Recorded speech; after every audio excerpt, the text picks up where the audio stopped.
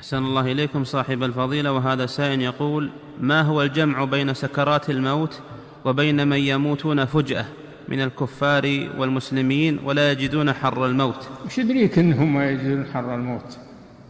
ما أحد يموت ولا يجد حر الموت. ما هذا نفي بدون بدون دليل.